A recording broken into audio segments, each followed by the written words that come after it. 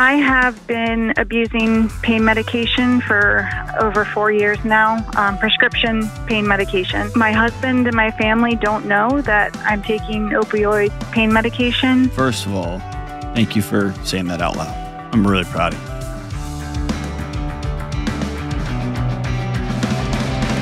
What in the world is going on? This is John with the Dr. John Delony Show, where we take real calls from real people who are struggling with their mental health, with their marriages, with daily decisions, daily choices, with their emotional health, with their kids, with a million things.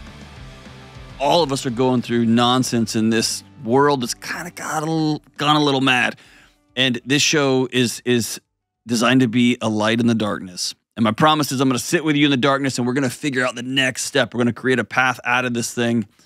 And it might be a long, long journey or it might be a light switch, but we're going to figure out how we can get some light back in the darkness.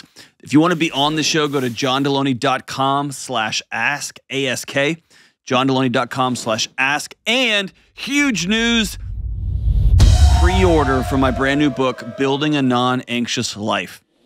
If you've been ride or die with our show, you know I've been talking about this for a long, long time. The way we are handling mental health, chronic burnout, stress, all the stuff that we hear everywhere, all over the place, what we're doing is not working. And this book is a deep dive into what the problem is, and more importantly, what do we do next? What is the path out of here? In this book, I've distilled it down to make it as simple as possible. It's not a textbook. I am a super nerd. This is the least nerdy book I could write. It's not full of a million citations. It's not full of a million big, fancy, you know, PhD words. I, I, I tried to make this as simple as possible for moms and dads like you and like me who just want to do better for our kids, who want to have some peace in our lives. This book is for you. So go to johndelony.com, 20 bucks for the pre-order, and you get a whole bunch of other stuff, including an automatic download of a talk I gave recently on one of the chapters in the book, which I'm just super hyped about. So Go to johndelony.com and check it out. Okay, right before we came on, you used to wrap houses when you were a kid? Yeah, we used to go, for those that don't know what that means, toilet papering houses. Right. And just, just if you don't know what that means, you just get like five, ten, or in me and my friend's case, 90 rolls of toilet paper and you throw them as high as you can up in the trees, and then they gravity brings it down, and then you just keep throwing it back up until it's just covered. Just Google wrapping houses or toilet papering houses. It's, it was amazing. It was an art form back yeah. then. Yeah. And the best was if it would rain overnight. And then the next morning, your mom was like, clean it up. Yeah, so awesome. incredible. But so a friend of mine and I, we had this like war going on my senior year of high school where pretty much every other weekend, one of us was doing wrapping the other's house. And my crowning achievement was I forked his entire front yard which means you take plastic forks and just in a row the entire front yard. His parents were not pleased, as you can imagine. I figure it was free aeration. People pay for that. Um, we would take them and stick them in and snap them off. Oh, see, that's just mean. Because we were mean. That that's was just, just not cool. Because that ruins your your lawnmower. Well, it just shoots out your lawnmower like missile. It was not yeah, cool, dude. Yeah, we took not, it way too far. At least we did it like all. Now I did have a friend of mine that did this to me. They went and got every um, like election sign. It was election season, and put them all yep, in our front yard. And every we used to do all the uh, real estate signs. Yeah, and, and put five thousand within the real estate. I get it. They got upset. Yeah, but I did get in trouble when I put um, shaving cream on his yard, and I killed part of his front yard. Oh, that's his parents were pleased. Nope, that's just the cost of doing business. That's what I figured. We went way, way, way too far one year, and we just kind of killed it for everybody. My two, my two favorite moments. One time, my dad um, I was a kid and I was asleep, and some some teenagers were wrapping our house, and my dad woke me up, and he goes, "Hey, get up, come here," and I didn't know what it was, and he goes, "Come here," and I could see something was up, and we he like was crouched down, and we snuck out the back door, and I was I thought it was so cool, man, and he handed me the hose, and he goes, "On the count of three, and he had a huge bucket full of water, and he goes, one two, and he started whistling and screaming, and we ran around the house. And I thought I was the coolest guy of all time ever. And my other one was my dad had a great friend who's an attorney named Tim Power, calling his name out on this show. Guy's awesome. Guy's awesome. Tim Power. To say we annihilated his house is the understatement. I think we had an entire case of toilet paper, which back then was 90 rolls It looked like it had a blizzard across his house. And as one that we left, and I was pretty proud of myself. Like, like that's going to be so awful to clean up. Like I wouldn't want to be them. We went home, and there was literally no reason. This is unprovoked. This is just me and a couple of teenage buddies. Like, let's just take a guy who's really great to us, and it's a good friend with my dad, and let's just ruin his entire week. And so we went and toilet papered his house obnoxiously. Next morning, like at eight o'clock, I have a knock on my door, doo, doo, doo, and it's him. It's Tim Power. I was like, oh, you're dead. You got busted. And he goes, hey, man, I'm in a real bind. Can you help me out? And I was like, what happened? He goes, my house got like well done wrapped last night. I have this thing coming up. Can I hire you to go clean it up? And I was like, yes, you can. So I cleaned it up and he paid me a bunch of money. It was awesome. And I waited like five years, maybe even longer than that. In fact, Tim, this is it. This is me confessing. This is my confession. I'm just telling you, that was me. It was me. And he paid for it. Quite impressive. It was good. It makes me sad that teenagers today, because of doorbell cameras and all that, won't get to do that. If you wrapped a house today, they would call the Yeah. cops. Because it used to be, it wasn't like you did it to people you didn't like. It was people you liked. It was Oh, your friends. So fun. and if you woke up in your house with toilet paper, and you were like, yeah. It was so fun. We had police officers drive by. They'd honk the horn. They'd oh, turn their yeah. lights on. I have run at hi- hidden bushes from police officers, and yeah, It's like a crowning achievement if your house gets TP. it was. It was like a, oh my god, I have friends. I got friends. People Yeah. love me. yeah, yeah. Maybe I'll maybe I'll kiss somebody one day. It's gonna happen, Kelly. You keep wishing, Kelly. It's coming. All right, let's go out to Reno, Nevada, and talk to. Is it Lila? Lila, Lila. What's up, Lila? Hi, how are you doing, Doctor? We are partying. How about you? Um, I'm okay. Kind of like nervous. Can't believe I'm on the show. Oh, don't be nervous at all. The show's not even that great. What's up? So, um, I I kind of like had a question. Um, maybe uh, hopefully you can help me figure it out how to kind of like control my feelings. Um, I get um, I feel like down easy. Like if if I text someone and they don't text me back, I like I start imagining the words. Um, and I start shopping stuff randomly. Like whenever I feel like I'm not good enough, I start buying stuff randomly.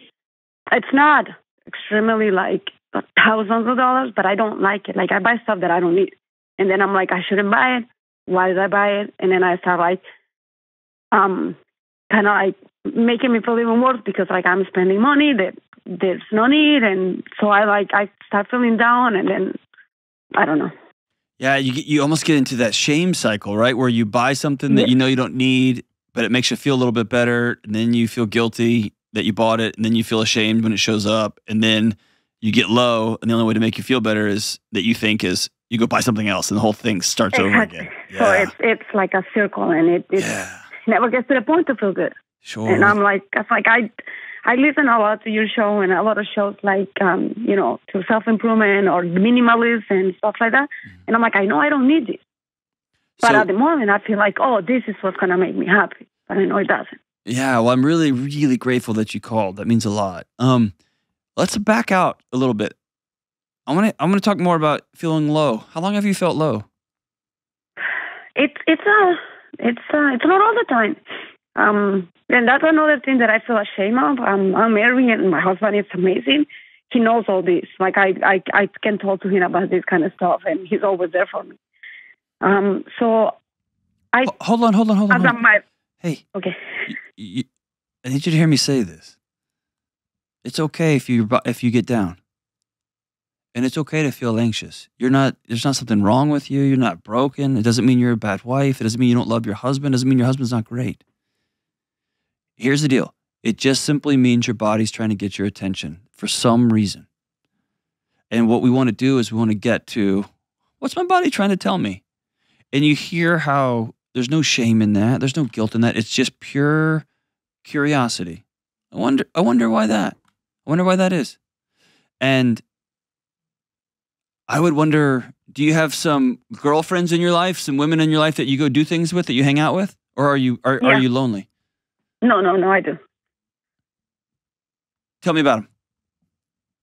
Um, they're they're great. Like uh, I'm not I'm not the one though that if I had a problem I call. I usually I just talk to my husband. Um, but we hang out like often, like at least we have different friends, like you know, work and outside of work and stuff like that. So Do you have little ones? I hang out with. I'm sorry. Do you have kids? You have little ones? Uh, yeah, one. Tell me about them. Um, she's she's good. She's great. You know, she's a kid. She have uh, her moments. the the patience it's a little bit push, but she's a great kid. That's She awesome. um she had a good heart. So I remember it was a huge moment for me when I started tracking backwards. For me, I think I've talked about this on the show all the time. Um, I don't have a lot of impulse shopping sometimes, um, but not usually. Usually, my issue is I go to junk food. I go to go to trash, like unhealthy food, and it was such a revelation to me when I realized that almost every time I go, I'm either super exhausted, and there's a lot of real clear literature that suggests the more tired you are, the more hungry, and the and the poorer the food choices you make. Almost always there was some sort of relational issue. I was frustrated with my wife. My kids were driving me crazy. I was super annoyed with somebody at work, and I found myself mindlessly grabbing junk food. And I'm sure I could go down a rabbit hole and figure out the physiology. I didn't really care what the physiology was. I just needed to know that the trigger had something to do with when my body felt exposed or lonely or disconnected from folks. So, going along those same lines, I would ask you the times you can think back to when you have felt the need to sit down and impulse shop to buy something. What usually starts that domino, hits that first domino that just rolls the rest of them down? Um, if I can, uh, like, if I like think about it, it's usually um either yeah, I'm stressed at work, or I've had an argument with my husband, or with my kid, or I feel like, and I don't know why. Like I feel like if if I had a friend and and, and I text, you know, and if I know everyone's busy, everyone has their life, but in my head, it's like if they don't text me within a few hours, I was like, oh, are they mad at me? Did I did anything? Did I? And I'm like, and I keep going like I don't remember saying or doing anything, but I'm like, oh, but maybe I did and I didn't realize. And then that's when I feel like the anxiety, and then I'm like, I just go online and I start just looking random things to try to distract my mind, and then I end buying things that I don't need, and I just, you know, they look good, this look cool, I can do this with this. Yeah. Oh, of course. I Oh. mean, you, man, you could talk yourself into rationalizing any of those things in the moment, right? So I want to back out and give you six six categories I want you to look at in your life, okay? And um, you don't have to write these down because they'll be available when the show comes out. But um, the six categories I would line out for you is the first thing I would sit down and I would ask you to choose reality to, to like really be honest about the reality of several situations Okay. and you for any number of reasons and i'm sure you and i could talk for a long long long long time but you have in your disposition that you're going to make sure everybody sees a beautiful picture even if things are really hard behind that picture is that true Yes. Yes. I have a feeling that if your husband was really mean to you one day, nobody would ever, ever, ever know. Or if you were really, really exhausted and frustrated with your kid, no one would ever, ever know. Because you have become so gifted over the course of time, probably to, to because you had to, at smiling and saying, oh, sure, it's fine. Everything's fine. Because you don't want to be a burden to anybody. And so I'd ask you to look at reality. Like, what is the state of your marriage for real? What's the state of your workplace for real? What's your state of your friendships for real? Being a parent, your relationship with your parents. I want you to look at the landscape of the relationships in your life. That's number one. And your workplace, all that stuff. Number two is I want you to begin to choose freedom, to look for places where other people are deciding what you do. That might be if you owe money to somebody, that might be in laws that are making demands of you, that might be a calendar that is super full and out of control. That might be uh, any number of things that are other people are demanding of you, and you don't get to drive in the driver's seat of your own life. The third one is connection. We talked about that earlier about relationships. You might be great on that one. Awesome. The fourth one is mindfulness, and we'll we'll get there in a second. Really, mindfulness is simply the gap between um, that feeling I want to do this thing and actually doing it. Mindfulness is I'm I'm having this thought, but I'm not going to go I'm not going to go through with it, right? And then the next one is belief. This idea that you've got to have something anchored into something bigger than you are. Do you have a faith? Do you have a faith belief system of any kind? Um, yeah, I mean, kind of. I'm not 100% practiced, but yeah. That's okay. Uh, yeah, I'm not going to prescribe one to you. I'm just going to say you have to have some sense that I am not alone in the universe. I'm not. I'm not a balloon that somebody cut the string and I'm just floating off aimlessly all by myself. Because that body is going to always be anxious because it's going to be untethered, no matter how how good it is. And the last one is you got to choose health and healing. That might be sleep. That might be going to counseling for the first time and dealing with some childhood trauma. That might be um, any number of I got to deal with this nagging knee injury or back injury. I just got to I got to get well and whole. I got to quit drinking 45 energy drinks in the morning before I go to work or whatever the thing is. Here's here's the picture I want you to have. If your life is a cup and it's already filled to the brim with all these things I just talked about. Your body's lonely, you got a chaotic schedule, you got a bunch of demands all over uh, on you all the time. Your relationships aren't solid, you're untethered, you're not well. Then, when something happens, like your boss hollers at you, or somebody cuts you off in traffic, or your husband is snaps at you, there's no there's no place for that extra water to go when it gets poured into the glass and it just spills over everywhere. But if you keep the water in that glass really low, then when life happens, when somebody pours water in it, it's got plenty of space to absorb that water, to, to, to capture that water, right? And so, more practically speaking, how serious are you about stopping impulse shopping? How seriously do you just want to quit? 100%. Like every time I bought something, I always like, and I look and I, I, I feel it's got better. Um, I used to like almost every month buy shoes, clothes, this, that. And now like I feel like, okay, it's been months now. But there's days that it's just I look at it and I said no, and then I go back to the website, and then I go back to the website, and I keep like, no, I don't need it, and then eventually I'm buying. So I would tell you, you're gonna have to do what I had to do several years ago, which is I had to give my debit card to my wife. I had to take it out of my possession because I didn't control myself. I couldn't control myself. And mine was always taking people to lunch. I'll, I got it. I'll, let's go to lunch. Let's go to lunch. Let's go to lunch. I'll, I'll go get coffee. Let's go grab dinner. And so it wasn't shoes and shirts as much as it was I was trying to buy connection with people because I didn't think people would want to hang out with me just to hang out. And so I had to take radical steps. I disconnected Amazon Prime. I didn't have access to it. I changed the code. I didn't have access. I couldn't get in. And I didn't have my debit card, so I couldn't just go buy things willy nilly. I had some cash in my wallet, and that's what I used to spend. And when it was gone, it was gone.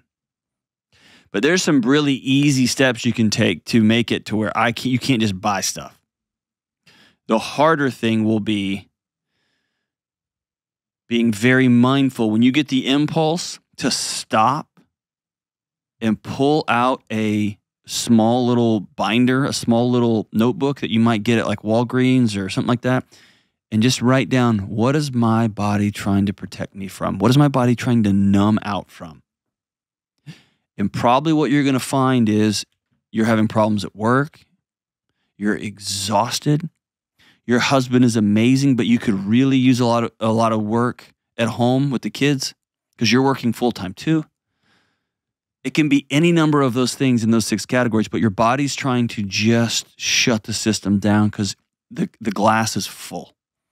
You can't take you can't take any more and it just says, hey, let's throw this thing into neutral and we're going to head off this way and just buy some stuff. Somebody else might be might be cutting. Somebody else might get another drink and another drink and another drink. Somebody else might go to pornography. Somebody else might go to any number of things that we're going to do just to numb out. And I'll tell you the same thing I tell everybody, Lila. Hey, thank you so much for calling. Um, hang on the line here. I'm going to send you a copy of my brand new book, Building a Non Anxious Life. Um, we didn't even mean to set it up this way, but it's it's almost just a perfect handoff for you. So I'm going to send you a copy of the book. Um, but I tell everybody, you are worth not living a numbed out life. You are you are created for more than that. You're put here on earth for more than just to band-aid over how you feel, what you wanted, what you think, what you need, and just go. You're worth more than that. Your life is worth more than that. Your marriage is worth more than that. Your time with your kids and your friends are worth more than that. Your time spent at work is worth more than that. So, Lila, I'll ask you, I'll ask everybody listening don't settle for a numbed out life. It's worth the work to head into the storm and ask your body, what are you trying to protect me from? What are you trying to numb me out from? What are you trying to distract me from? And I got to head right into the middle of those storms because that's where the light is. That's where the healing is. Thank you so so much for the call, Lila. I'm so I'm so grateful that you call. I'm proud of you for calling. Um, hang on the line. We'll get you hooked up.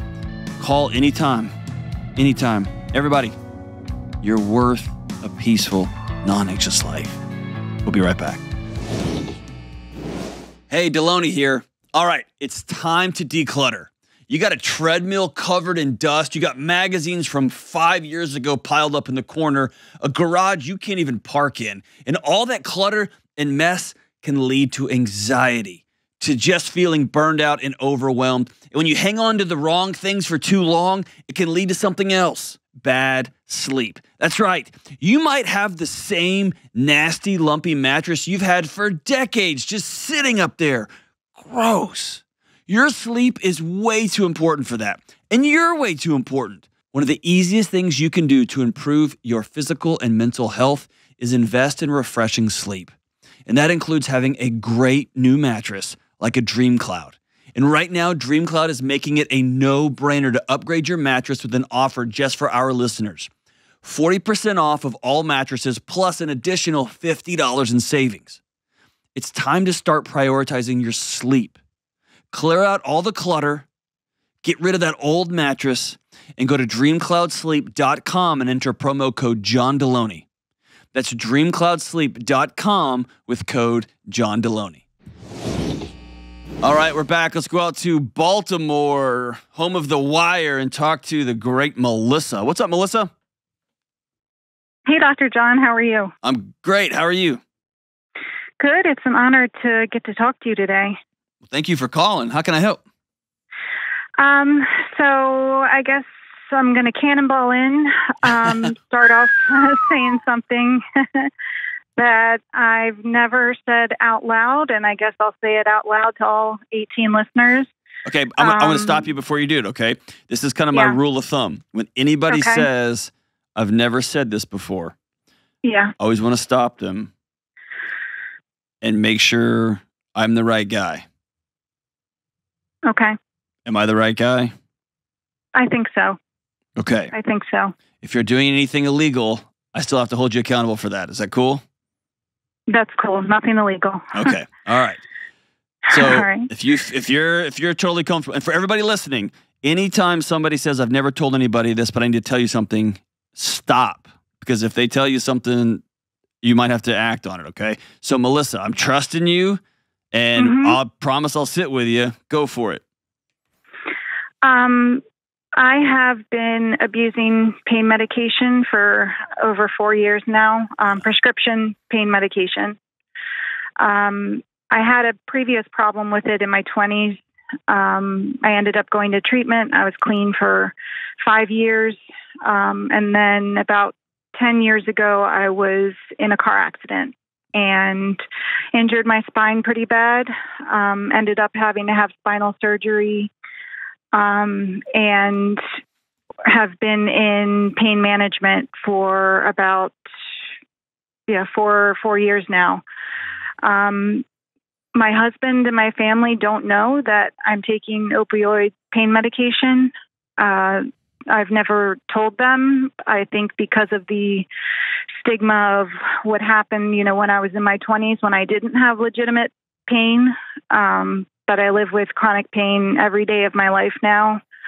Um, and I just, I, I'm ashamed um, in a way, but at the same time, I feel justified a little bit. But I'm constantly beating myself up over it because I am constantly running out of my pain medication early. And everything is great until that point. You know, I have energy, I do well at work, um, I participate in my life. You know, I can concentrate on things, but then as soon as that prescription runs out, everything comes crashing down. And it's like I just crawl into a black hole for, you know, as long as it is until the next time, you know, I am able to to get my prescription refilled. Um, Okay, can I can I tell you a few things that are hard? yeah, Well, first of all, thank you for saying that out loud. I'm really proud of you. I would hug you if you were sitting here, and I probably wouldn't say anything for the next five or ten minutes. I'd just sit here with you. thank you. How did that feel saying that out loud? Um, out of body kind of experience. Yeah. yeah. You'll probably feel some instant relief, and then the shame waters will slowly start circulating back through and a little bit to fill up that space. I want you Yeah. to know I'm proud of you, okay? For just Thank for saying you. that out loud.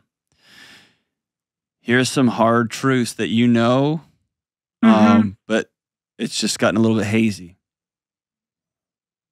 Your family knows. They may not know exactly what, but they know. And that idea that you can focus and everything is better and I become more of a laser, that's the addiction talking again yeah. because it's not right. Because I promise you, your colleagues are like, man, what is up? I promise you. And so there's this moment. What what what made you say I've got to st- I, I've got to get I've got to say this out loud. I've got to I've got to do something different. Something happened. Um, nothing happened. I just feel like I've been doing this dance for a while where, you know, I find the gift of desperation to stop and then I just don't have, you know, the willpower. And then I think of like the fact that I do have legitimate chronic pain, but I need help with holding myself accountable because obviously I'm not doing it. well, and you can have chronic pain that's managed in different ways than just Yeah. throwing opioids at it, right? Um, all right, so let's walk through this together. You call a meeting tonight with your husband and you take him out and you say, I have to have a hard conversation with you. And you say, I've been using for four years and we both know that I've got these prescriptions, but um, I'm burning through the prescriptions. I'm even getting some other ones from another doctor, from friends. Um, I've reached a point where I can't control this. What happens then next? Um, I fear that he would never look at me the same way again because I think it's not so much the using, but the lying and the hiding things and the betray like the betrayal that I think would really hit him harder than anything else. And I'm just terrified that if I have that conversation, if I, yeah, that he would never look at me the same way again and that it might end up ruining our marriage. What's the chances he reaches over, gets up from where he is, and comes and hugs you and holds you so tight you can't hardly breathe? Um, I honestly don't see that happening. Okay. What if you told him, I'm going to tell you something, and when it's over, it's going to be hard for you, but I need you to get up and come over and sit by me and just hug me and not say anything for a minute? And if you told them, I'm embarrassed about the lies, I'm embarrassed about the shame, but I'm sick, and we've been through this before, and I got to go through it again. I think it's Um, probably writing all that stuff down and reading that out in some shape, form, or fashion. But one of the most common things I hear on the front end of somebody coming clean is I'm afraid everybody's going to do X, Y, and Z. And it just doesn't always happen that way. Sometimes, yeah, people react poorly or they, re- they make it about them and all that. Yeah. But sometimes they don't. And let me tell you this. You know me on if you listen to the show, I'm always Mhm. dude, I, I want to go to the ends of the earth to try to save marriages because I think marriage is a beautiful thing. But I'd rather your marriage I'd rather y'all go separate ways than you die. And you know how this ends. And you got little ones too, right? I don't actually. No kids? Okay. Good. Yeah. Okay. No kids and not planning on kids. Okay. Just us. when you use before the the the, the pain what were you cut what were, what were you duct taping over Um, just general anxiety, social anxiety, um, just feeling, I don't know, a lack of self confidence. You know, there wasn't anything, there wasn't any major event, any trigger. I didn't have, you know, any trauma in my childhood. I I mean, legitimately had a very good childhood. And I have two loving parents who, you know, would do absolutely anything for me. Um, how's and I think it just my marriage. Um, all right let me say something really harsh okay yeah, i question how strong the bind the bounding the binding is in your marriage if you think you come to him in a moment of illness and he bails either that's the addiction talking or your marriage is is is not a secure bond. It's not a secure attachment. I think it's more of the addiction talking because, I mean, when I'm not having this kind of conversation and I just kind of think think about it, I mean, he he's always told me, you know, that he's in for the long haul. He's not he's never going to leave me, you know, he believes in just marriage as an institution and I just like I don't I don't think that he would actually leave. I think what I'm more afraid of is, like I said, him just never looking at me the same way again and just going through the motions and me not being able to so, so don't dress rehearse tragedy things. You're dress rehearsing tragedy don't invent problems that haven't happened yet and try to solve them in the present Yeah. give him an opportunity to step up and give him a roadmap to what that looks like. Here's the truth you've been through this before. Mm -hmm. Getting off this is brutal. Yeah. Going to AA again, which you got to do, is brutal. Yeah. Going through this process will be very difficult, and you're worth every second of it. Have you listened to, um, if you haven't already, I would love for you to go listen to Armchair Expert with Dax Shepard and his co host Monica. And the episode is called Day Seven. Okay. And his claim to fame was 15 years sobriety. And he was a mentor for countless people, he was a sponsor for countless people. Then he had an accident and he had to reckon with starting over because he used again and started hiding it. And it's one of the most beautiful, heartbreaking, hard, but truly extraordinary pictures of what this actually looks like. Yeah. want you to that listen- all sounds too familiar. I want you to I want you to listen to the episode because his friend Monica holds him accountable and she says I love you in the same in the same conversation.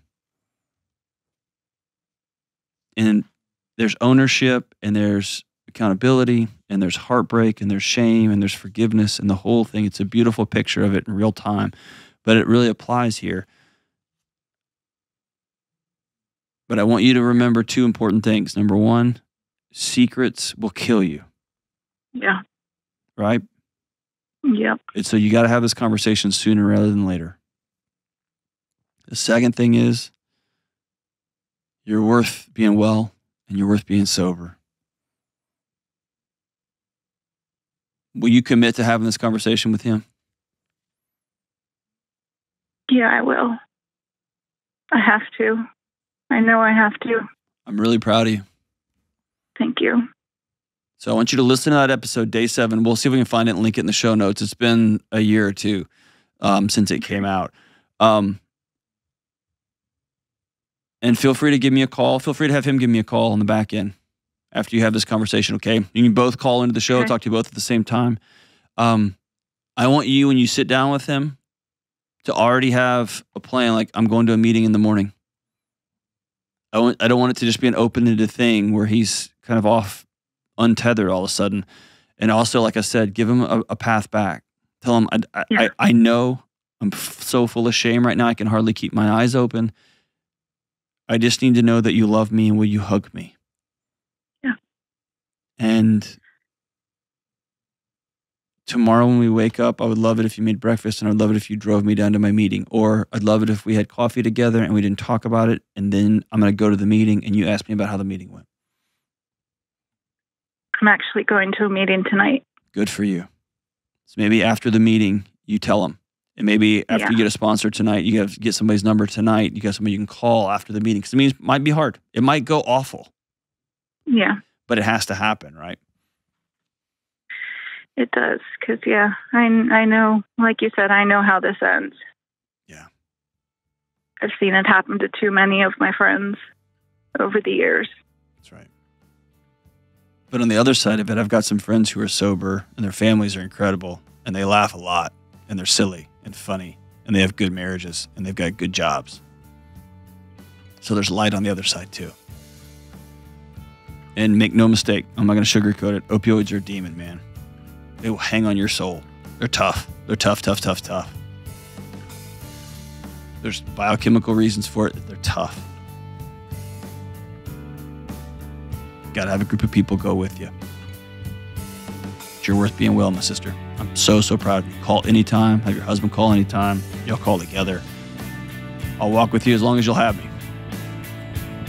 Let me know how this conversation goes. Let me know how tonight's meeting goes. I'm so proud of you. We'll be right back.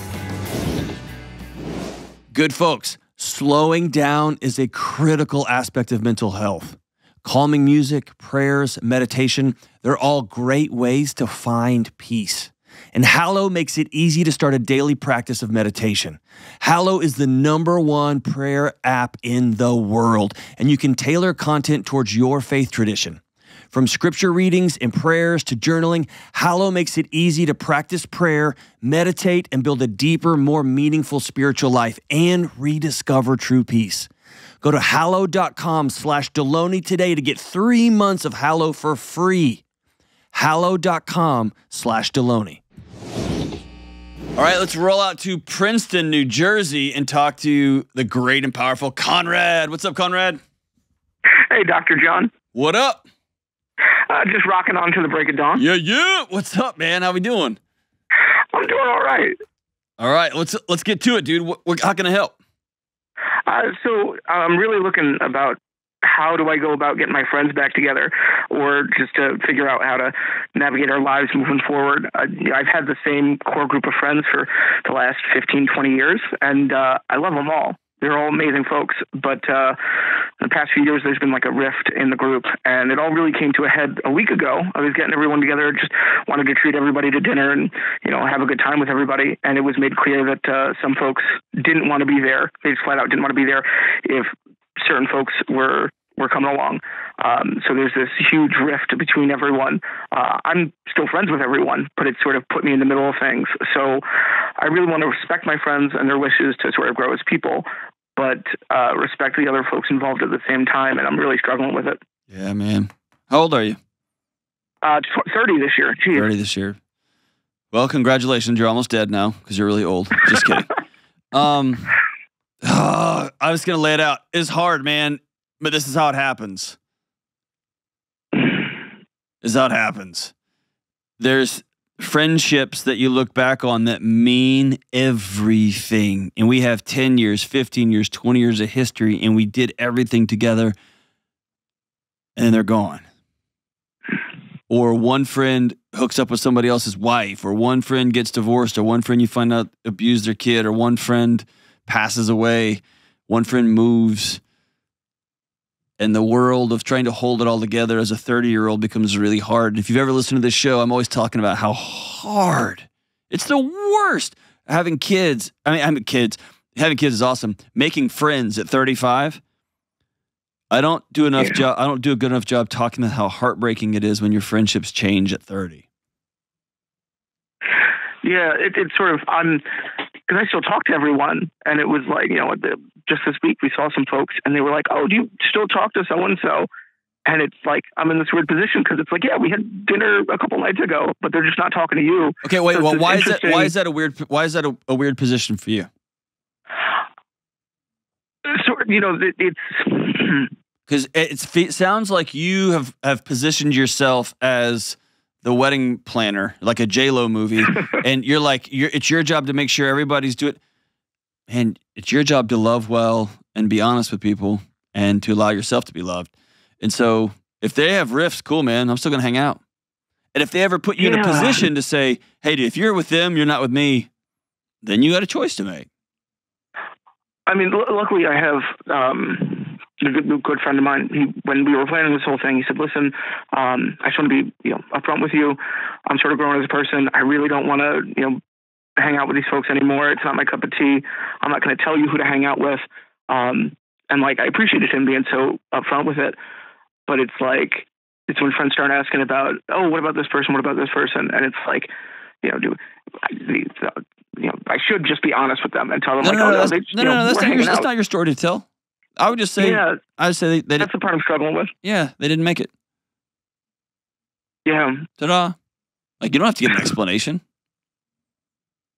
Oh, it's it, you're right. It is rough because it's like, you know, it's it's it's not the whole group. It's like you know a couple folks and then everybody else. That's right. And it's just I feel like I was always the person to like include folks and bring them into the fold. But now that it's like this this distinct division, um, but you're not you're not you're not bringing people into the fold. You're trying to you're, you're they're trying to leave and you're trying to force them to stay. That's different. There's something about including people who are on the margins, people who are on the outside, people that you think would be great in the gang. There's another thing when people in the gang are like, "Hey, it's run its course for me. I'm out," and you're like, "No, no, no, no! You gotta stay. You gotta stay. You got, you, you gotta like. We're all gonna." That's a different story. That's you yeah. propping up your picture of what this is supposed to look like, not honoring the person on the margins. Yeah, I realize that I, sucks the way I just said that. no, no, no, you're right. It's like um, I love them and I care about them, and I need to honor their wishes, respect man. that they want to grow. Yeah. and yeah, or, or that they think that that's, this guy just sucks, right? It's not even about growth. like, I don't like that dude. He always gets drunk and acts like an idiot, or he always hits on my no, wife, or and whatever. It's, it's, it's rough. Yeah, um, it's really respecting them and, and, respecting their journey with it. Um, and you know, there's no like bad blood. There's no like somebody slept with somebody's wife or something like that. But it's just you know people growing as people, and it's like I guess it's coming to terms with the idea that I had for the future, and like you know, oh, we've got you know we'll work together and go through like all right having kids and doing all that and like sort of have those people going through it with you and accepting the idea that that picture that I built for myself is a little different now, and that you know people are changing, and I can't control that. One of my. Uh, uh, one of my one of my favorite people I've ever had the opportunity to be friends with. Um, he was in my wedding. I was I participated in his. Um, I had a bad situation, a housing situation, and I moved into his kitchen. Literally, he got rid of his kitchen table and moved my bed into his kitchen table, in his kitchen. Uh, he's an amazing guy. And we went to, we were young, knuckleheads. We went to a Blink 182 concert well, years ago, years ago. And then I went again recently and I texted him a picture said, "Man, I missed this." And he goes, "Man, me too." That was that was those are good times. And if I tell you what, if I called him and said I really need some help, he would be here in no time. Because I love him, he loves me, he loves my family, he's friends with my wife. I I, I love his wife. We're connected. or- er, We always will be, but it's different now. He's an executive in some big fancy company. We live 17 hours away by car. I'm a YouTuber for God's sake. Like, right? So it happened. And if I could do anything to flip that, I, I would. Because I miss the guy in my life. He's one of the greatest friends a guy could have. And I'm so excited for his professional opportunities and for him and his family and all the things. And I know he has the same for me. And so it's just making peace and grieving what was and making peace with what is. And then I've got to do the hard, scary work of making friends in my local community. And that's terrible. But here we are, right? And that's just Mhm. one dude, man. That's, there's like multiple guys that like remember when, remember when, remember when. And here we are. And I wish it wasn't right around 30 when it all happens, but that's a pretty common time for people to have their first kid, people have their first breakup, people to be like, hey, I'm not drinking anymore. Whatever the thing is, I don't go to church anymore. I do go to church. I'm super Jesus freak. Whatever the thing is, it just happens around this time.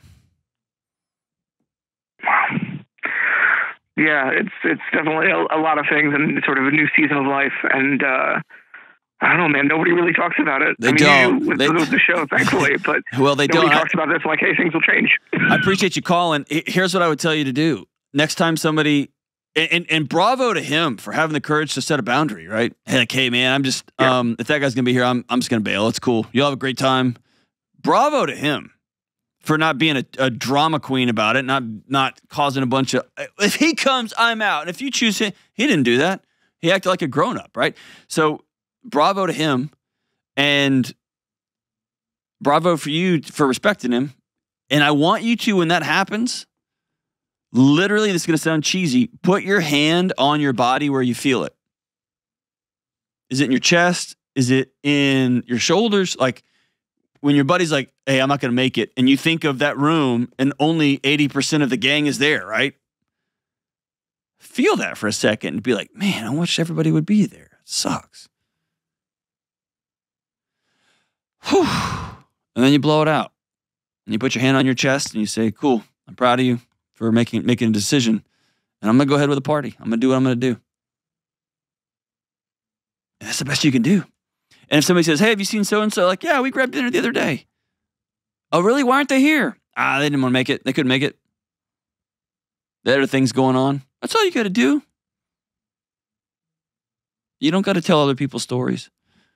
But it's mostly you coming to terms with people have the right to come and go, and they will come and go in your life. And it hurts and it's hard and it's completely normal. And the one thing you can control is I am going to be a person that surrounds myself with friends and community. It's kind of guy I'm going to be. I'm going to have people. Even when I'm tired, even when I don't want to, I'm going to have people. I'm proud of you, brother. Thanks for calling, man. And thanks for reminding me. I need to talk more about that 28 to 33 year old season when everybody kind of starts splintering and moving on. And There's that sense of loss, and hey, let's keep the text threads going and the memes going. But it's all just not the same. Find some new buddies to invite into the fold and make sure you stay connected to the guy that stepped out. Whew. Sorry, the pictures are changing, man. As Blink 182 said, I guess this is growing up. We'll be right back. Hey, what's up? Dr. John Delony here. Check it out. My new book, Building a Non Anxious Life, is now available for pre order. Here's the great news anxiety is not the enemy we've been led to believe. I know this because I've walked alongside countless folks over the last two decades, and I've struggled with this too. If you create a life of intentionally living out the six daily choices I've outlined in this book, you're going to be able to better respond to whatever life throws at you. You're going to learn the choices you can make day by day to create a more peaceful, joyful, less chronically stressed, non anxious life. Plus, when you pre order my book, I want to give you something to help you today. That's why you'll instantly get my newest talk, Smoke, Fire, and Freedom, that I gave to several thousand folks a few months ago, where I break down the misunderstandings and myths we believe about anxiety, how to reclaim your freedom, and how to build a non anxious life. So pre order Building a Non Anxious Life today for just 20 bucks at johndelony.com. All right, we are back. Listen, we have a new segment on the show. And if you've listened to this show for any period of time, you know we're always inventing new segments. Most of the time, they last um, one segment. But we're going to give this one a go because I'm pretty hyped about this. So we've gotten several emails or calls and around the same theme. And so I'm calling on you listeners. I'm calling on you listeners, A, to pre-order the book, johndelony.com. Shameless plug that I just feel kind of gross that I just did that. But go to johndelony.com, pre-order the book. And this new um, segment in honor of the great and powerful Taylor Swift is called I'm the Problem. Is it me? Question mark. I know she doesn't have a question mark, but alas. People are, are write in and say, "Hey, am I the jerk? Am I the idiot? Is this all is this my fault?" And so I would love to keep this thing going. And instead of doing the lyrics of the day, we're just going to end the show with, Am I the problem? And I think that would be a blast. What do you say, Kelly? Just make sure you keep them short. Keep them short. Okay. Yeah, yes. because we can't do long ones since it's just in this last segment. So keep them short and make sure you put in there, Am I the problem? And then also, after we read it and we'll all talk about it, then we want our fans to go on to social and to reviews and tell us what they think. What they think. All right. So today, the first installment ever, the first installment ever of Am I the Problem? Is it me? Question mark. is from Kimberly Monks in Utah. Kim writes, Am I the jerk? My husband gets up early to ride his bike before work, usually between 3:40 and 4 a.m. ish. Yikes. He has a hard time waking up to his alarm. I'm already telling you no.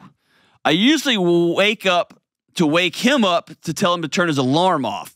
Then there's the snooze. It takes me a lot longer to fall back asleep than he does, so when his snooze keeps going off, I've basically been awake the whole time. I prefer to wake up around 5 to 5:30 for my workout.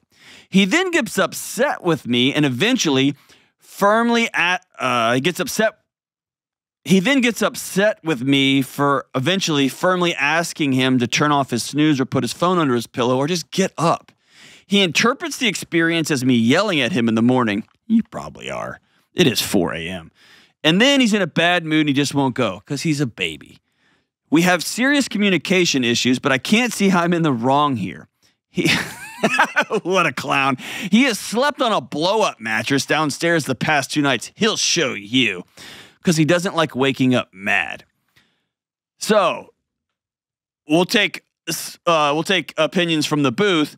I think he wants to be a guy who wakes up at 4 a.m. or 3:40 to ride his bike, but he's not. And he is just a guy that creates unnecessary noise at 3:40 to 4 a.m.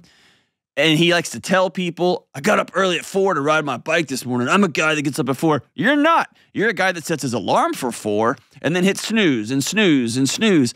And the woman you chose to share a bed with is like, God almighty, can we just sleep in like normal people? So, no, I think he's the jerk. And I also think he's acting like a baby for being like, fine, I'm sleeping on my blow up mattress. I don't want to wake up mad. You don't want to wake up mad? Actually, wake up and then get up. Then you wouldn't be mad. Or be, say, you know what, Jocko, 4:30 a.m. I concede it. You win. You know who I'm not? David Goggins. I'm just not. So I'm going to sleep until 5:30, which is still way before all of Earth, and I'm going to work out then. Near near, and then you don't have to be an idiot. And I realize saying someone's an idiot is harsh, but dude, you know why I know? Cause this was me, homie. This was me. I'm a bro who gets up at 4 a.m. and I run 48 miles and whatever. And then my sweet wife would just be like, hey, if you set your alarm at four, will you get up and actually go? And not just lay there and hit snooze and snooze and snooze and snooze until I want to stab you? Not in the back, but in the front so you'll feel it when you die. Like, am I crazy? What do you think? Oh, he's 100% the jerk on this one. I would be putting my pillow over his face. and you listen to enough murder podcasts, I they would never it. figure it out. Exactly. That's right. Jenna, what do you think? Yeah, he's the problem 100%. He's the problem. I can't believe he said that. I don't like waking up mad. I know what well, a child. maybe then don't hit snooze a thousand times. And by the way, uh, Kimberly Monks, you are 100% are yelling. You know why? Because every rational person would yell if every day of their life an alarm went off at 340 and then at 350 and then at 4 and then at 410 and then 420 everyone would yell. Eh, gandhi would start yelling at that time. Every major uh, monks who have vows of silence they've taken vows of silence for centuries they would come out of the grave and be like turn it off! You're exactly right. He is the problem not you so congratulations our first inaugural am i the problem in this case no it's him it's him hey send these in go to johndelony.com slash ask keep them brief and put in the headline Am I the problem? Is it me? Would love to hear it. And we're gonna roll off the ending the show with lyrics of the day. And I'd love to have these, have more and more of these. Take care, be kind to one another, stay in school, don't do drugs, all that stuff. And hey, tell somebody today, look them in the eyes and tell them that you love them, that you're grateful for them. I'll see you soon.